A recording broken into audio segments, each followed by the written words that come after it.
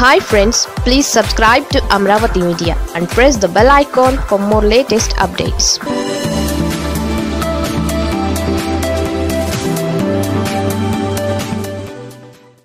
మళ్ళీ లైన్లోకి వచ్చిన లగడపాటి జగన్ పాలనపై కీలక వ్యాఖ్యలు. రాష్ట్ర విభజన తరువాత రాజకీయాలకు దూరంగా ఉన్న మాజీ ఎంపీ లగడపాటి రాజగోపాల్ గత ఎన్నికలతో సర్వేలకు కూడా గుడ్ బై చెప్పారు. ఆ తర్వాత ఆయన ఎక్కడా మీడియాకు కనిపించలేదు. అయితే విజయవాడ మున్సిపల్ కార్పొరేషన్ ఎన్నికల సందర్భంగా తన ఓటు హక్కును వినియోగించుకున్న లగడపాటి రాజగోపాల్ ఏపీలోని ప్రస్తుత రాజకీయాలపై ఆసక్తికర వ్యాఖ్యలు చేశారు. అనేక అంశాలపై తన అభిప్రాయాలు వెల్లడించిన లగడపాటి రాజగోపాల్ పవన్ కళ్యాణ్ తీరును అభినందించారు. గెలిచినా ఓడినా పవన్ కళ్యాణ్ ప్రజలను అంటిపెట్టుకుని ఉండడం అభినందనీయమని లగడపాటి రాజగోపాల్ వ్యాఖ్యానించారు.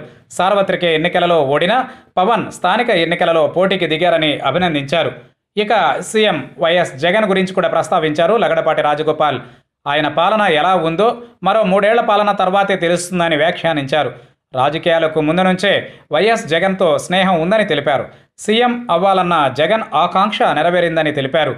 ఏపీలో అమలవుతున్న సంక్షేమ పథకాలపై కూడా లగడపాటి స్పందించారు.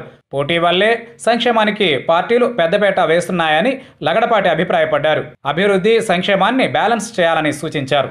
దివంగత సీఎం వైఎస్ఆర్ హయాంలో సంక్షేమం అభివృద్ధి సమంగా ఉండేవని లగడపాటి గుర్తు చేశారు. ప్రభుత్వాలు తమ అవసరాల మేరకు సంక్షేమం అభివృద్ధిలో దేనికి ఎక్కువ కేటాయించాలో నిర్ణయం తీసుకుంటాయని అన్నారు.